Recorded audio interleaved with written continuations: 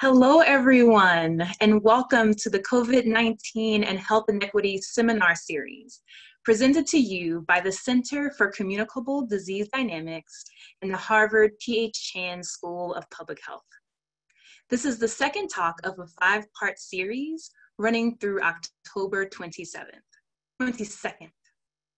I am your moderator, Tiffany Lemon, and today we are excited to welcome Dr. Jarvis Chen from the Harvard T.H. Chan School of Public Health. Let's get started by covering a few logistics. This seminar is being recorded, so please turn off your camera if you do not wish to be recorded. The recording will be available on our website at a later point in time. At 2.45, we'll stop for questions. Throughout the talk, you can send your questions via the chat function to Emma Accorsi. In advance, we apologize for technical difficulties. During the presentation, you will see um, a toolbar. All right, let's get started. We are thrilled to have Dr. Chen with us today. Dr. Chen is a social epidemiologist whose research focuses on social inequities in health, especially racial, ethnic, and socioeconomic disparities in cancer outcomes. As a methodologist, Dr. Chen's interests include the development of methods for geospatial and spatiotemporal analysis, disease mapping, handling missing data, and latent variable analysis. All right, let's go. Dr. Chen, thank you for joining us.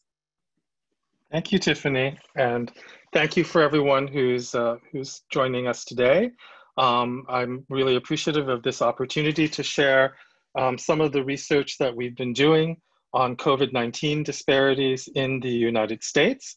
Um, I'm just gonna get right into it um, and give you uh, an overview. Just I'm gonna talk about four interconnected projects um, that we've been working on since the beginning um, of the pandemic in the United States.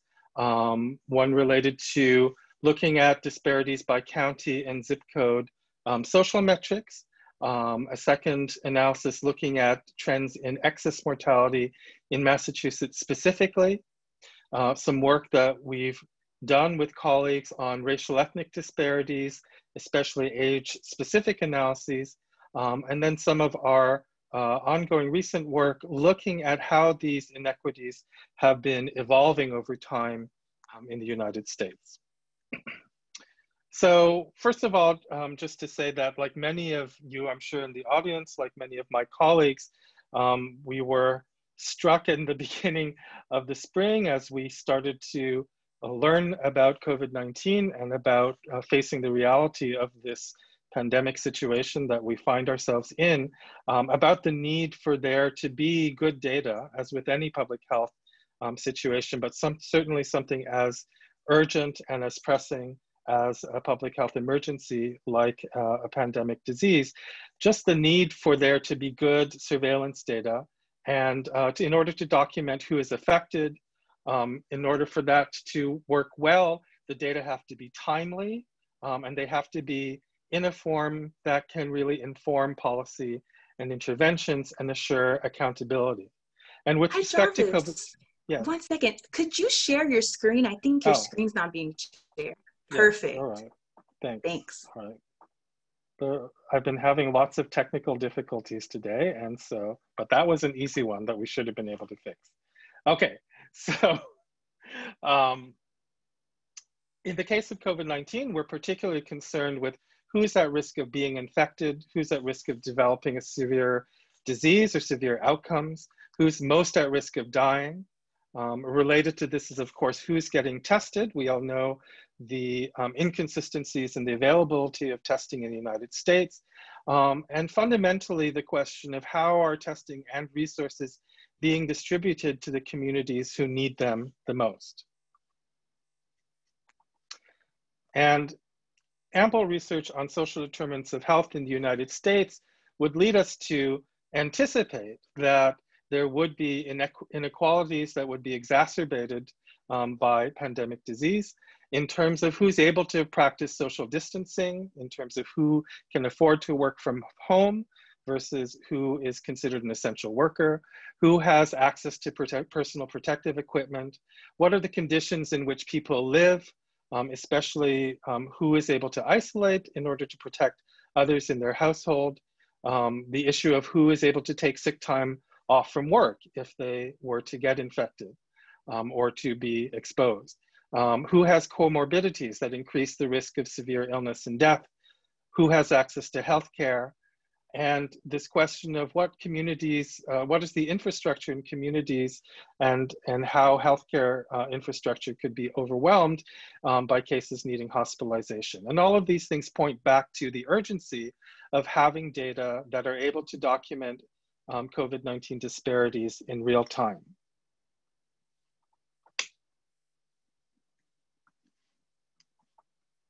All right, sorry, I'm having trouble advancing my screen. There we go. All right, so early on, um, what we were dismayed to see is that uh, the data that were really available um, were only available for total confirmed cases and deaths um, on an ongoing basis, and usually at a very large level of geographic aggregation in terms of states and counties. Um, even though local and local health departments were reporting data, um, the consistency of those data were really spotty. Um, in general, those data lacked information on age, which means we couldn't do age adjustment or standardization. Very early on, data were not available on the race ethnicity, particularly of cases. And in fact, that continues to be the case that many state and local health departments have large number of unknown race ethnicity in their reported confirmed case data.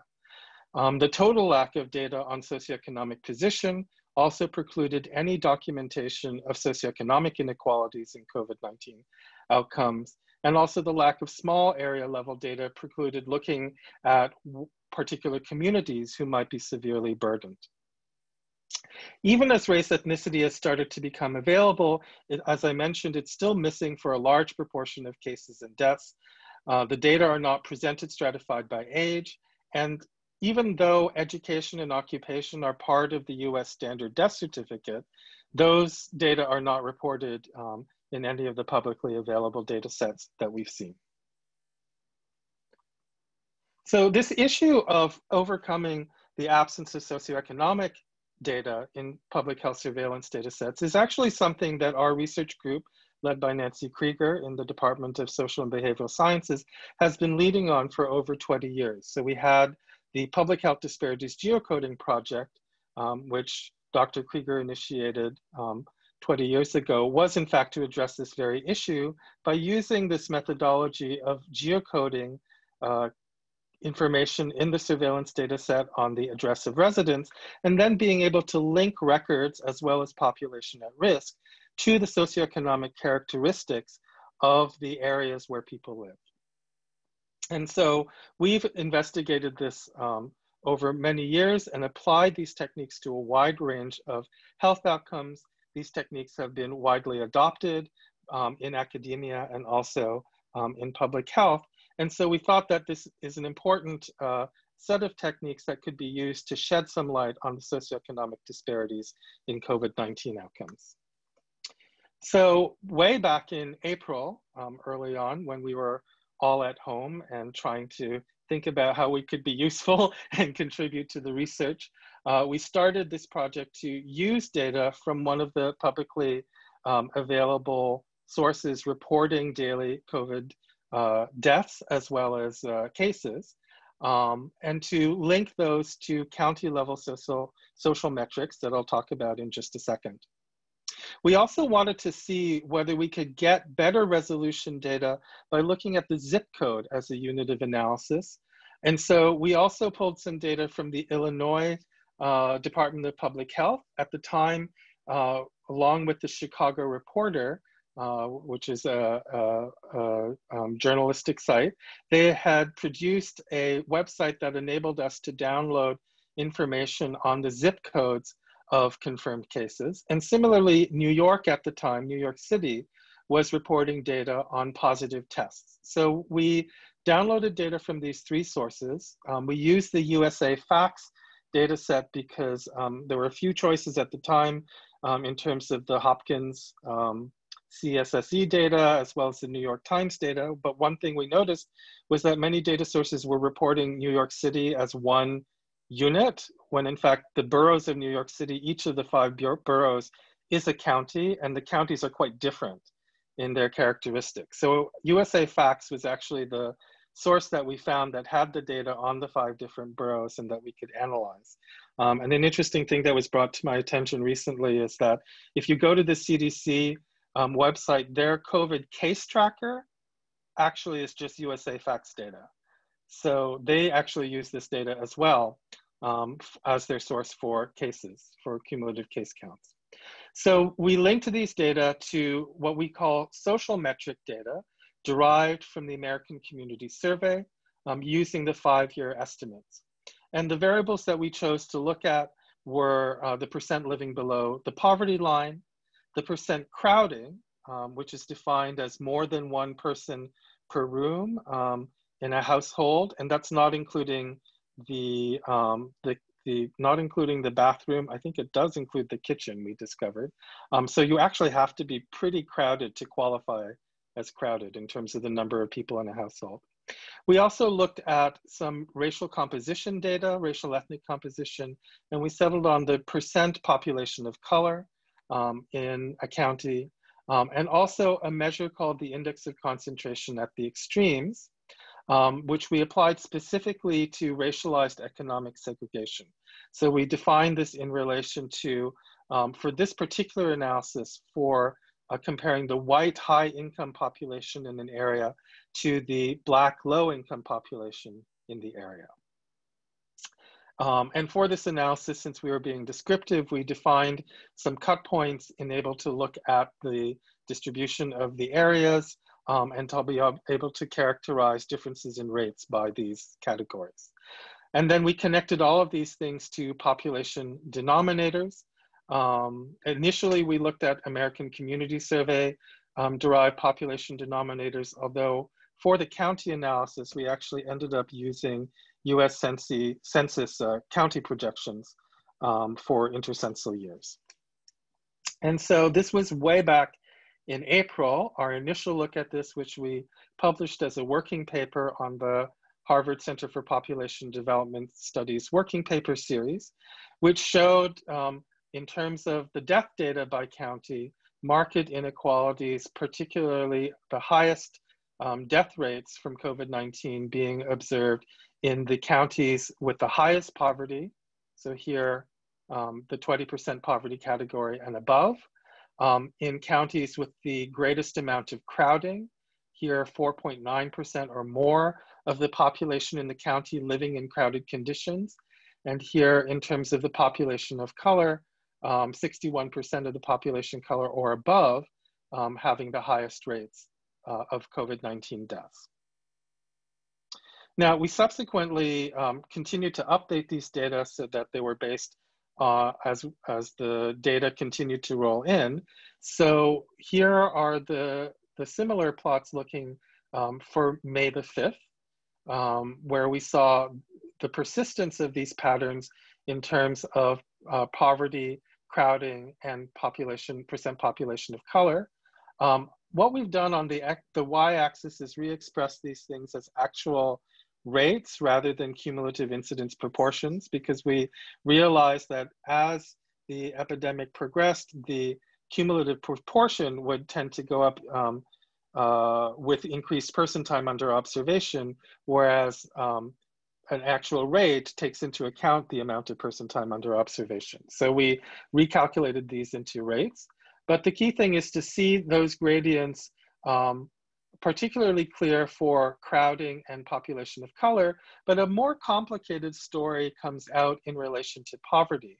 Whereas um, while the rates are highest in the uh, counties with the highest poverty, we also see that actually the rates are uh, lowest in these middle counties, and there are counties that have very low poverty that actually had not insubstantial rates. And we think that this has a lot to do with actually the particular states that were affected early on in the spring in terms of being in the Northeast, um, particularly in New York and New Jersey, Long Island, um, but also Massachusetts.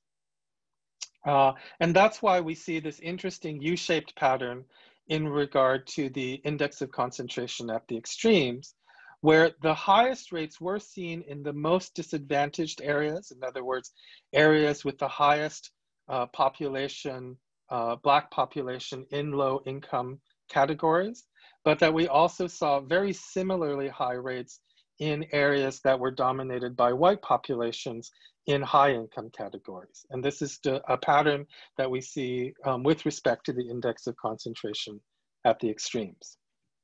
Um, what was notable in this analysis overall is that if you compare the top to the bottom in terms of the most advantaged to the most disadvantaged, with respect to a measure like um, percent population of color, we see an incidence rate ratio that's as big as five, which is huge um, in terms of incidence rate ratios. We also looked at this, as I mentioned, for smaller um, geographic aggregations in terms of zip codes in Illinois.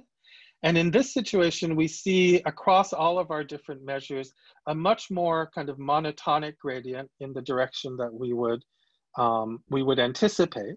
And we think this has a lot to do with the fact that counties are very, uh, can be very heterogeneous in terms of the populations living there, whereas zip codes being relatively smaller than counties um, you have a much sort of more homogeneity within the zip code in terms of the socioeconomic circumstances um, that people are living in. So we get a stronger signal with respect to the zip code level measures.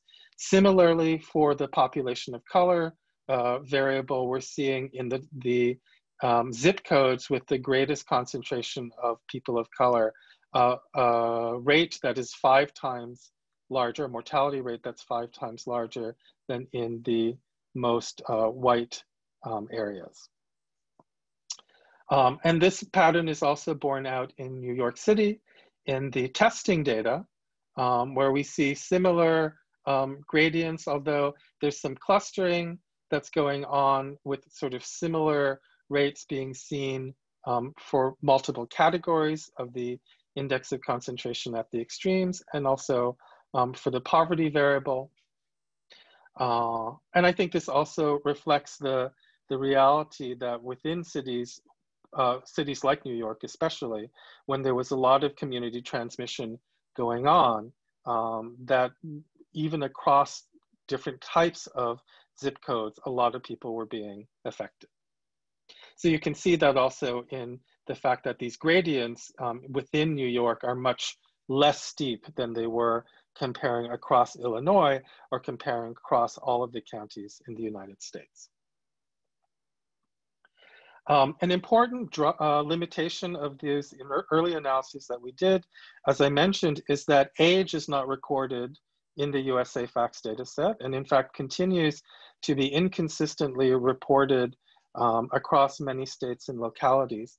And so it's not possible to do direct age standardization to take into account differences in the age distribution across counties, for example.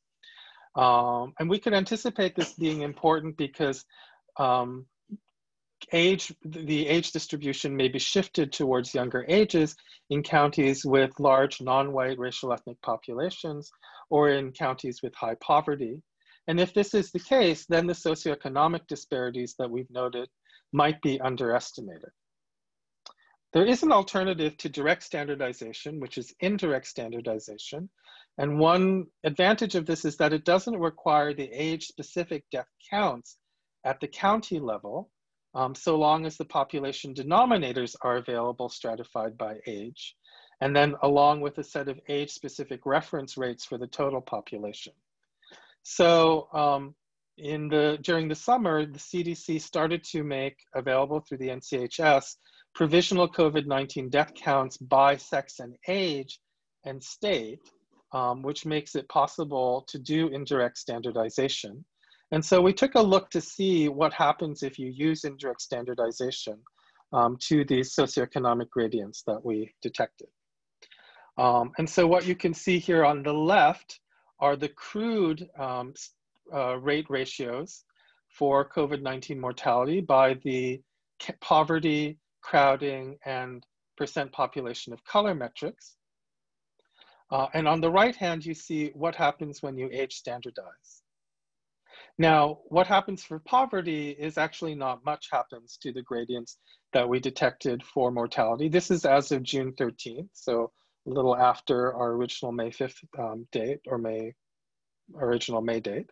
Um, but what you see for um, crowding is that the gradient gets a little bit steeper. Um, and for uh, percent population of color, the gradient does get steeper in terms of the um, disparities um, across these categories of uh, racial ethnic composition. So this supports the idea that failing to account for age does, for some of our measures, result in an understatement of, of how much disparity is actually there. Um, one of the caveats to remember about indirect standardized rate ratios is that they're only comparable to direct standardized rate ratios when the rate ratio is proportional across age, um, and in this case, we standardize by sex as well. Um, so because we don't actually have the age and sex stratified death counts at the county level, we can't actually evaluate the validity of this assumption.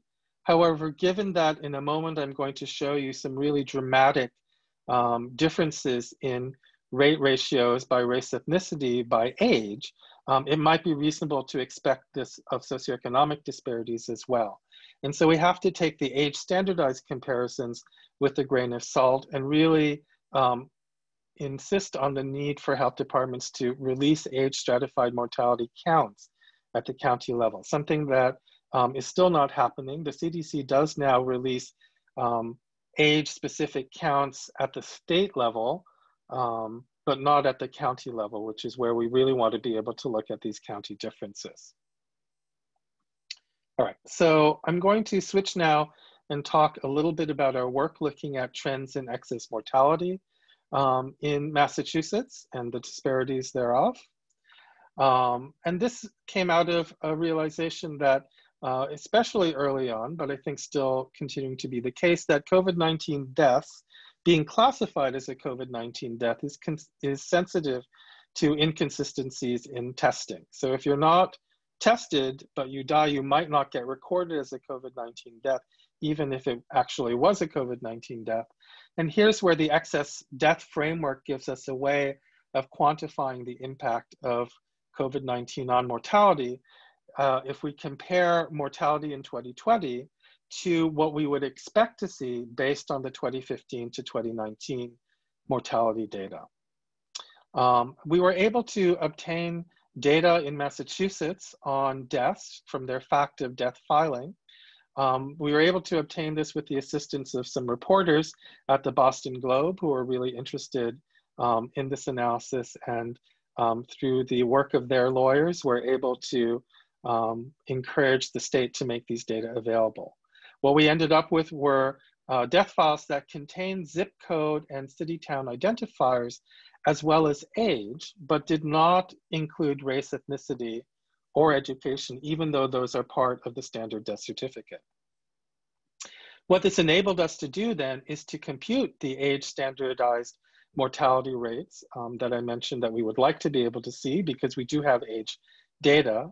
And so we did this stratified by zip code um, and in a parallel analysis, city-town social metrics in order to investigate the social inequalities in the surge in excess mortality that happened um, in April and May. Uh, so again, the data came from these Massachusetts fact of death files. We linked them to American Community Survey data on uh, zip code and city town social metrics, and also to denominators. Here we had to use the American Community Survey denominators because we were working at the small area level. We did translate these back into rates per 100,000 person years um, by multiplying the population counts by seven and dividing by the number of weeks in a year. Um, and we age standardized them to the year 2000 standard million. Um, and so just to say about excess deaths, these include the deaths that are presumably due to COVID-19, whether or not you were classified as a COVID-19 death, but they also include changes in the mortality patterns that may have occurred because especially during lockdowns earlier in the spring, people might have avoided seeking medical care for a heart attack or a stroke, or possibly if their comorbid condition was exacerbated by a coronavirus infection, um, or conversely, um, if due to re reductions in mortality, certain deaths didn't happen, those would be kind of all together there in the excess death metric.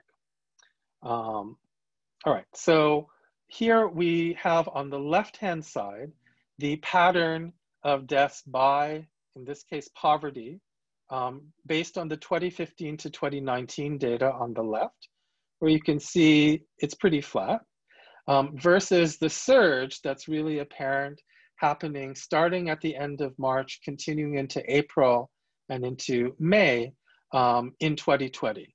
And what you can see with the different colored lines is that these were very socially patterned, with the surges being largest in the zip codes that were of the highest poverty level. And in fact, at the peak, which happens here around April 15th, these uh, excess mortality rates are 1.14 uh, times greater in the high poverty zip codes compared to the lowest poverty zip codes. If we look by crowding, that peak is 42% larger in the zip codes with the highest amount of crowding compared to those with the least amount of crowding. And if we look by uh, population of color, it's 78% greater um, in the zip codes with the highest population of color. So like 40, 43 to 97%. Um, and here by the index of concentration at the extremes, I've used the yellow to denote the areas that are uh, most disadvantaged. And in this case, our ICE measure was slightly different from before. We used white non-Hispanic high income versus all people of color, low income, um, because in some analyses we had discovered that this was actually more sensitive to um, the, the social differences um, in the outcomes. So we can see, first of all, um, it's really striking to me that there was this surge and also that the surge abated um, into May. And so if you kind of think about when Massachusetts shut down back in March, and then you allow for kind of four weeks between you know becoming a case and then dying, you can sort of see that this this reduction in mortality is related to the steps that we took in Massachusetts to reduce um, you know how people getting together and social contact, et cetera, implementing social distancing. But the fact that these uh, that the surge was so much greater in the most disadvantaged zip codes is really alarming and points to how um, communities are being affected differentially. Um, all right, I'm gonna move, I know this is a bit of a dizzying array of things, but I kind of wanted to give you a feel of a bunch of the different things that we've been doing. So I'm moving now to a slightly different topic, which is to look at um, patterns in the racial ethnic disparities in COVID-19 mortality nationally, um, and looking at this in relation to age-specific analyses as well as age-standardized. Um, and this is work that we did with Dr. Mary Bassett from the FXB Center for Health and Human Rights, um, and was inspired by uh, the observation that though people uh, back in May were talking about racial disparities, we didn't have a great handle on it. And at the time, the only data we really had to talk about was, was um, data on the crude um, rate ratios. And so at the time, I think several journalistic sources and blog posts had talked about this twofold excess risk being experienced in terms of COVID-19 deaths by non-Hispanic Blacks relative to non-Hispanic whites. And if you look at the crude um, disparities, it's really only the non-Hispanic Black group that stands out. Um, all the other racial ethnic, non-white racial ethnic groups seem to have very similar rates to those being experienced by non-Hispanic whites.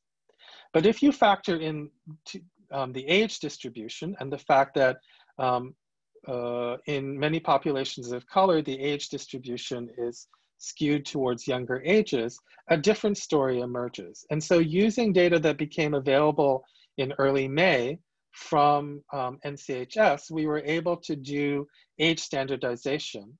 And when we do this, we find that that black-white disparity is more like 3.6, but that also disparities are seen for just about all the other racial ethnic groups, um, especially Hispanic Latino, um, but also Asian Pacific Islanders. Um, and here the point estimate is 1.2 for non-Hispanic American Indians or Alaskan Natives, um, but of course those numbers are much smaller. We also um, published this initial report of this um, in a working paper also on the Pop Center website. When we break it down by age, however, some much more alarming patterns emerge. And so what we can see um, in this is that particularly below the age of 55, the uh, rate ratios for non-white uh, racial ethnic groups are much, much larger, um, on the order of like between six and nine um, for non-Hispanic Blacks, with the highest rate ratios being seen in this 35 to 44 year old range. Similarly high for American Indians and Alaskan Natives, um, but also, and also Hispanic Latinos, um, but also elevated for Asian Pacific Islanders. So something dramatic is happening here where um, given infection at a younger age, the risk of dying seems to be much greater for non-white groups in these younger age categories. Uh, remembering that mortality, information on mortality is incorporating information both on people's risk of being infected as well as their risk of dying given that they're infected. And so um, we think that this is being driven as much by differences in exposure because of um, the kinds of jobs that people are doing and their ability to socially distance, as well as, of course, pre-existing conditions um, that might influence the risk of death given infection in these age ranges. Now, it turns out that um, the CDC has recently released a data set, like this is within the last couple of weeks, I think, of monthly um, counts by age and race ethnicity um, it's actually by different regions of the United States, but this is just looking at the United States overall. And what I've done on the top line is to plot these on the log 10 scale because when you're looking at age specific rates, the rates in the younger ages are so much less than the rates in the older ages, it's very difficult to put them on the same plot.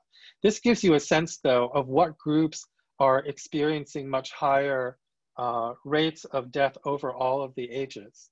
And what you can see looking along the top is that, um, so these uh, orange triangles are the non-Hispanic American Indian or Alaskan Native. And while this was the situation back in April, that they were sort of somewhat lower than the um, Hispanic slash Latino or non-Hispanic Blacks, that the rates for that group really um, escalate over the summer. Um, and you can see that here plotted on the rate ratio scale um, in a very alarming way. Um, and so this, I think, does reflect what was happening in Navajo Nation um, over the summer. Um, but even taking that out of this picture, if you wanted to concentrate on what's happening for non-Hispanic Blacks and Latinos, you can see that they are, particular at the younger ages, experiencing much larger death rates compared to non-Hispanic whites, uh, and that in fact non-Hispanic whites and, and non-Hispanic Asians end up looking very similar. Uh, that being said, Asian Pacific Islander United States is a very diverse group itself. Um, and so this doesn't look at um, uh, categories within that, which we do think um, are important. I just read a news article came by this morning suggesting that um, uh, the, the proportion of the proportion of Filipinos working in nursing um, is like, I, I, think around 4%, but the number, the proportion um, of Filipino nurses who have died since the beginning of the pandemic in the United States is much larger. And so um, that really speaks to the importance of looking within these categories. Finally, the last thing I want to point out about this is that over the summer, something seems to happen where the um, risk, the rate ratio for uh, Latinos seems to increase more rapidly or go up higher than for non-Hispanic blacks. So you see this separation of the blue line, which is the um, Hispanic line from the green line, which is the non-Hispanic black line. And that happened, uh, that peaked particularly in July, but seems to be persisting uh, as we go into August. All right. Finally, um, in my last two minutes, I just want to um, talk about some analyses we've been recently working on um, that are looking at the trends in the case and death rates by the county social metrics. So the work that we looked at previously used these publicly available data, which are cumulative case and death counts, um, but really to get a sense of how the epidemic is evolving in the United States, it might make sense to look at uh, incidence and mortality rates over time. And we can do this by um, decumulating the uh, cumulative case and death counts that are available from public sources like USA Facts. So what we did is we took the USA Facts data, we decumulated it on a weekly basis by taking you know, the cumulative number of cases from this week, subtracting the cumulative number of cases last week, and then using that as the count for this week. Um, this data, by the way, is not perfect. There, there are numerous data anomalies that happen in this data. We know that over time, there were changes in whether people were reporting confirmed versus confirmed and presumed cases. There's a particular notable day at the beginning of July when New Jersey adds like 2,000 cases um, to their accounts. So um, there are data anomalies in here. But we uh, match these to the um, county social metrics from the American Community Survey. Um, and then we calculated crude case and death rates uh, per 100,000 person years. And so this is a picture of um, poverty, cases on the left and deaths on the right. If you remember the plots that I showed earlier with respect to deaths, we saw that interesting pattern where the highest death rates were in the most impoverished counties, but that actually um, the least impoverished counties, seen here in the dark blue line, were lagging not too far behind and where some of the middle categories of poverty um, have the lowest rates. And we see that again here. And that we think again reflects the characteristics of counties in the Northeast that were affected in this first quote unquote phase of the pandemic. What you see here with this spike in the dark blue is the effect of New Jersey adding um, 2,000 cases to their uh, deaths to their death counts um, in July. Um, and we see that it apparently affected the most affluent counties in New Jersey particularly. But what's interesting to us here is that as you enter this second phase um, in late summer, this complicated socioeconomic pattern clears up and becomes a very clear socioeconomic gradient going from the lowest rates in the least impoverished counties to the highest rates in the most impoverished counties. And something similar can be seen um, for the case data as well. Um, this is the pattern by crowding, which if you remember from our earlier analyses, um, did show a clear socioeconomic gradient uh, or a clear gradient from least crowded to most crowded.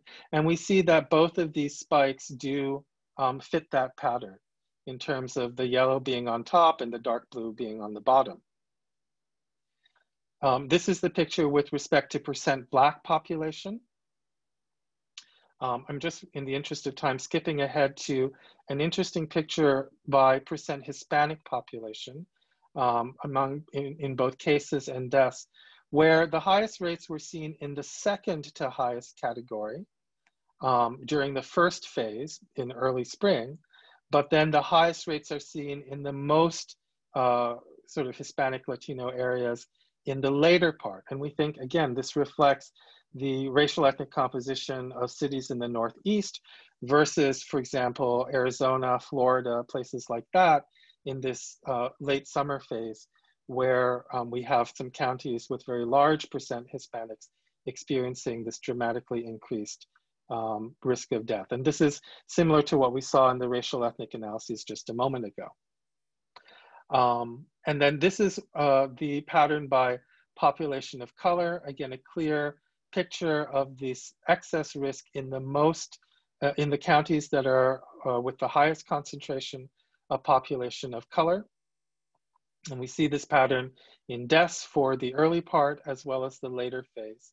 Uh, and we really see the gap between these, relatively speaking, um, being quite large, particularly with this yellow line pulling away, which really suggests that as we progress through the pandemic in the United States, social inequalities are increasing in terms of, we really see this in terms of who's able to continue to work from home, um, who is working in these jobs whereas the economy opens, they're um, being exposed. And also, I think the, the, um, the fact that, that the options for people um, for um, practicing isolation if they think that they're exposed, protecting their families, taking sick time off from work, um, all of those things are affecting this increasing inequality that we see happening in this second phase. Um, and this is just to complete the picture um, by the index of concentration at the extremes. Again, we see this flip pattern where if you remember that U-shaped pattern that I described in the death analysis way back in May, um, we see that flip so that we get a much clearer gradient here with um, the most uh, disadvantaged areas having the highest rates and the most advantaged areas having the lowest rates in the late summer. So all of this is just to say um, that, uh, oops, there, um, that state and local health departments, we think really should continue to try to report these data by area-based social metrics in addition to what they're already doing in order to make these social inequalities visible. Um, the methods on our Public Health Disparities Geocoding Project website um, are available. Let me just actually go here to show you. We made a special page on our Public Health Disparities Geocoding Project website that includes some resources, our working papers. Um, there are also some data sets there where we've extracted the American Community Survey data for a number of social metrics for counties as well as zip codes so that anyone who wants to can link to these data. We also have R code up on the website um, if people want to replicate what we've done.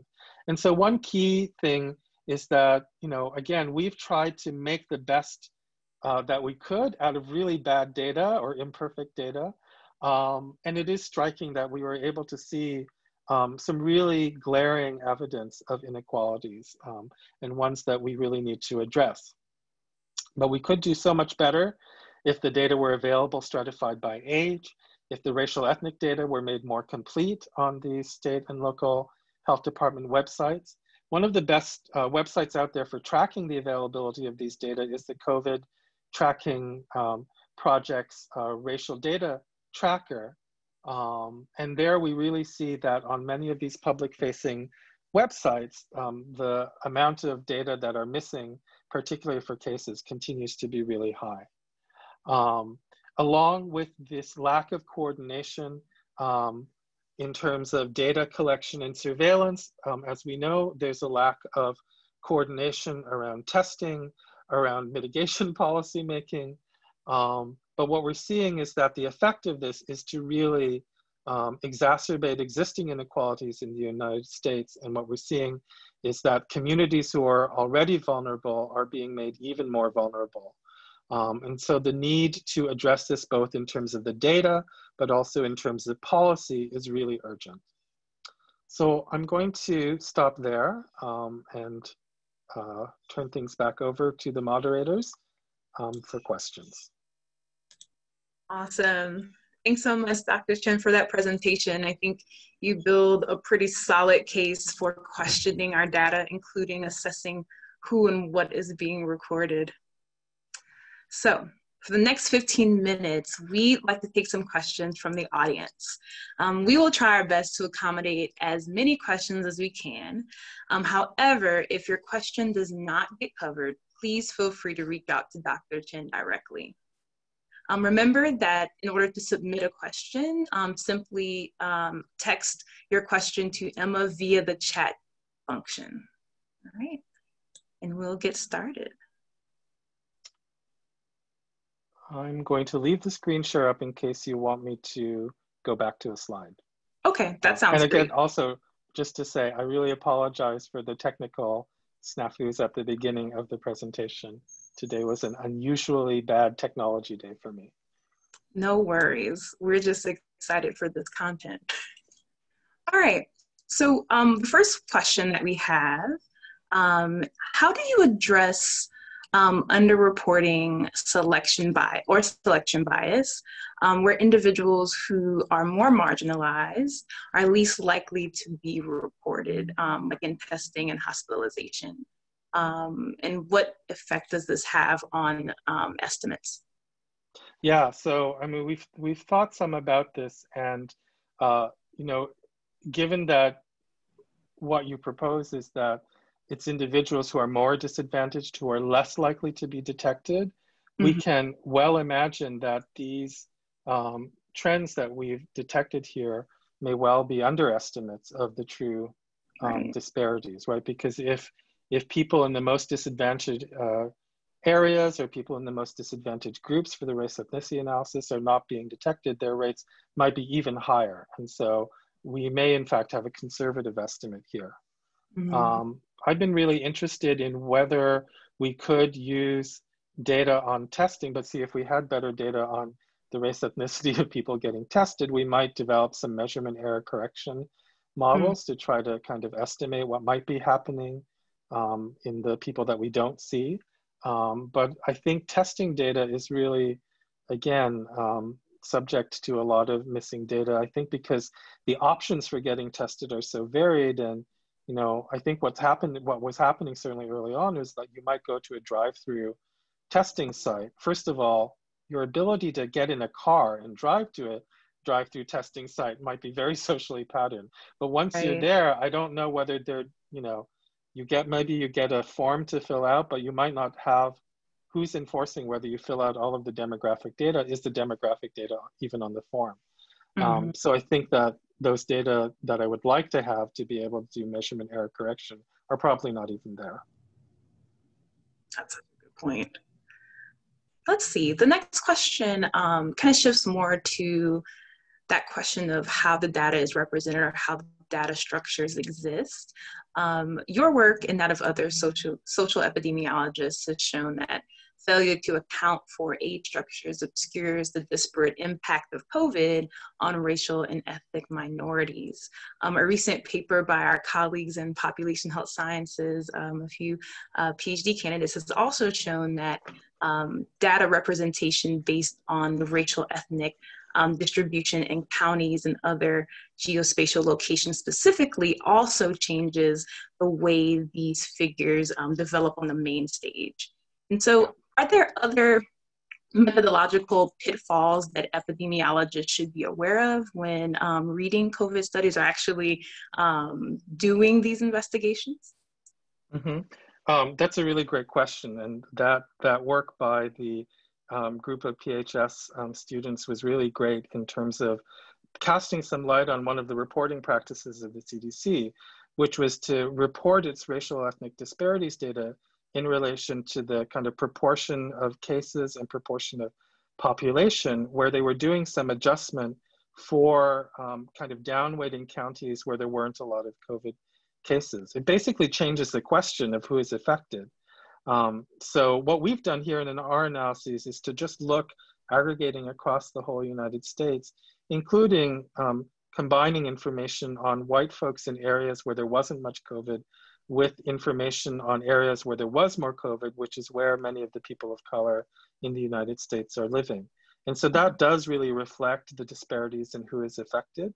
What was happening with the weighting methodology that the CDC was using, and as the um, as the PHS group really showed very well in their paper, was that was resulting in um, smaller estimates of the racial ethnic disparities because it had shifted the question really to the to the question of in the counties where COVID transmission was happening, what was the disparity um, between uh, non-white and white racial ethnic groups in those areas? That's a valid question. That's a reasonable question, but it's a different question than what's happening descriptively across the whole country and who is affected.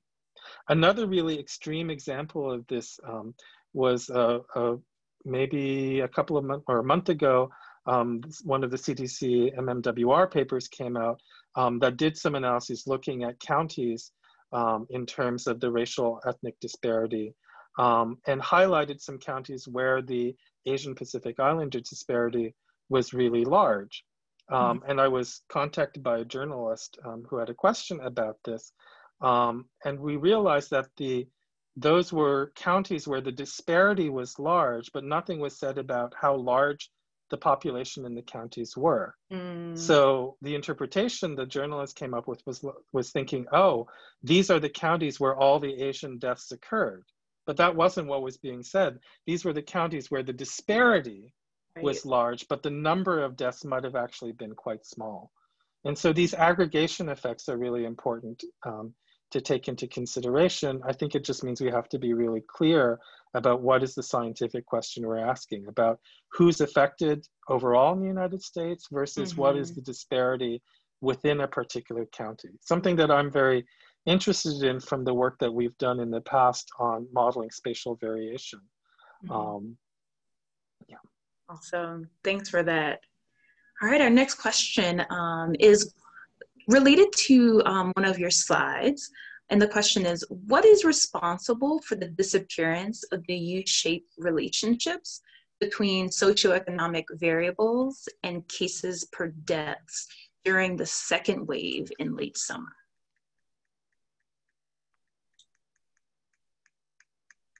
Let's go right to the index of concentration at the extremes. So I think that what's happening here, if you think about New York City, this is what I always come back to is New York City. So there are five boroughs in New York City. You've got like Manhattan, you've got Queens, um, the Bronx, Brooklyn, um, Staten Island, et cetera, right? And so particularly these, um, the areas where the ice variable is a very negative number, which is the more disadvantaged areas, are particularly in like Queens, the Bronx, and to some extent Brooklyn.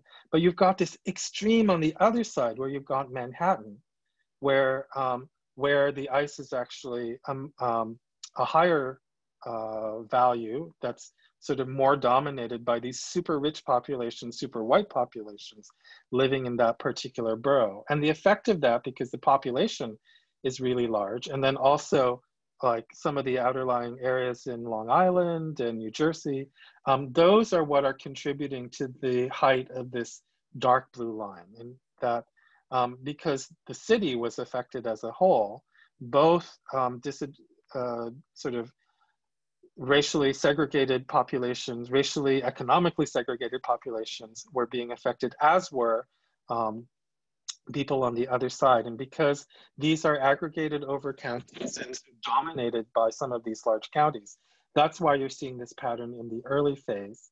Um, and then you see this flip in the later phase as this moves into um, the south and into the southwest, um, where there's a lot more um, areas that are um, contributing um, in following these particular patterns of socioeconomic disadvantage. That's my best sort of interpretation of what's going on here. And so again, this is where geography really matters. Um, you know, also, I guess really important to say with respect to this idea of there being waves, I think there's been work out there, people have tried to look at this. And if you disaggregate these waves by geography, what you really see is that there's some areas that experienced their curve in the early part of the spring mm-hmm. and have mm. remained consistently low, like New York, like Massachusetts. There are other areas that have experienced, didn't experience much in the earlier part of the spring and are now experiencing in the later summer. I mm-hmm. think when we look across states, the only state that really fits this two wave pattern is Louisiana. There was an early outbreak in Louisiana, then there was a lull, and then there was a second phase in Louisiana. So what you're seeing here is is sort of superimposed um, kind of ge geographic patterns um, as well. And I think that speaks to the importance of doing further work in the future to kind of chart this over time um, by geography. Indeed, indeed. So I'm familiar in the context of your presentations that you do an excellent job at framing the issues that um, are being presented. And so could you speak more to the dangers of science um, pointing out the existence of racial disparities without also exploring the causes of these disparities. Um, and how mm-hmm. does um, a lack of data exacerbate this problem? So, you know, it's of course, without the data, we can't even really see that the, um, the problems exist. Uh, and the fact that we went so long, you know, what's just to say that, um, you know, legislation is actually mandated um, that racial ethnic data be reported in COVID-19 data. And the you know, policy was announced by the Trump administration that that would be in effect by August the 1st. Um, and that is so not in effect by August the 1st. Like what we see from the COVID racial data tracker is that, um, you know, there was very little movement in most states towards increased reporting, um, especially, I mean, for the cases, which is what it was mandated for. Um, deaths has improved somewhat, and I think part of that is because death certificates do require you to report race ethnicity. Um, so there is a real data problem. And as Dr. Krieger has sort of pointed out, we're sort of um, early on, we might have said, well, everyone was having trouble just getting their data systems up and running, and maybe everyone was swamped. I think we're now in the phase where, um, this is not just benign neglect, but something um, insidious about like not um, really um, highlighting um, racial disparities and their importance here. and so really speaks to the need for advocacy on our part as researchers as well as communities to get these data um, reported.